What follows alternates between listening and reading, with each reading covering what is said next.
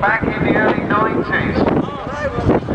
I had a VW powered dragster and when I first fitted a big turbocharged engine and went sub 10 seconds, it was him who advised me how to go through the braking zone. The tracking of Santa Pod's improved an awful lot in the last 10 15 years. There used to be a series of bumps at the top end that would create some rather terrifying experiences. So he's a man with a lot of experience behind the wheel and an awful lot of experience on this particular track.